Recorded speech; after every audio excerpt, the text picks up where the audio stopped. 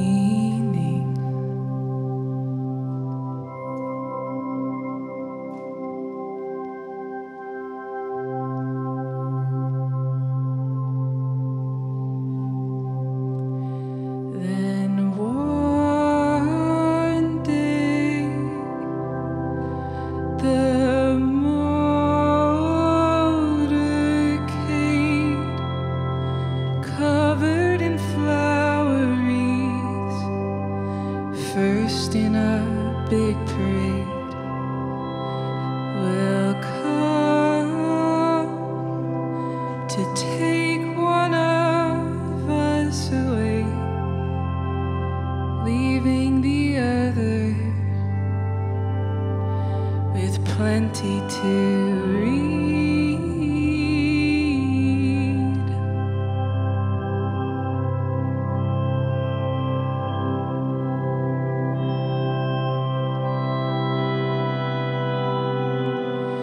This is